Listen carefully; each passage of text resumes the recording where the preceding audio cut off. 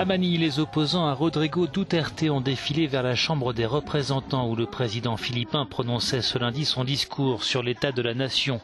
Un discours au cours duquel il a promis de poursuivre sans relâche sa guerre sanglante contre la drogue et la criminalité, dont les méthodes sont régulièrement dénoncées par les organisations de défense des droits de l'homme.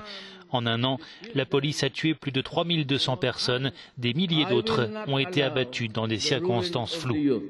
Je ne permettrai pas la ruine de la jeunesse. Je ne resterai pas inactif par crainte d'être exposé à une condamnation publique ou à des poursuites judiciaires.